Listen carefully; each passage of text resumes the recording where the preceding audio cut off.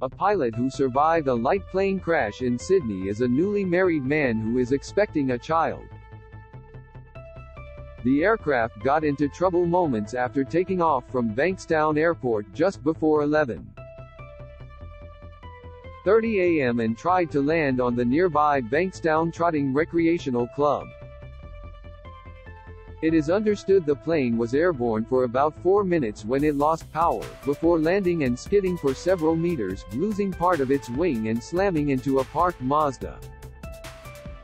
Read more. Melissa Caddick's husband makes claim for watches, jewelry, paintings. CCTV footage from the scene shows the out-of-control light plane careering towards the car park before crashing into the vehicle.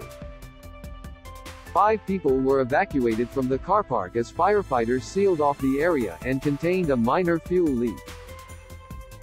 Bankstown Paceway Operations Manager Steve Thurlow said the pilot told him he had a child on the way. I felt sorry for him, Thurlow told 9 News. He said I just got married and I've got a kid on the way and all. He said I thought to myself this is it Sharon from Club Condell Park said a regular customer came in and alerted staff to the crash. I said oh my god, where? And she said right next to the club, Sharon told 9 News.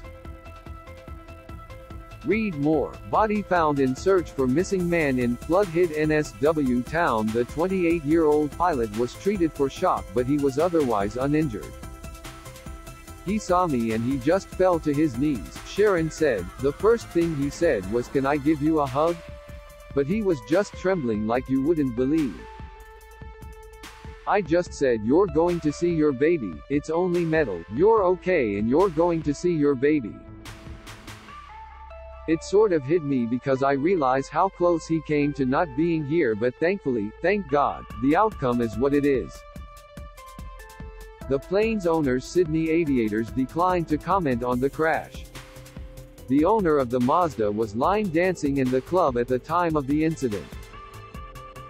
The plane has been towed and police have handed the scene over to the Australian Transport Safety Bureau. The Bureau will gather additional information to determine whether it will launch a full-scale investigation.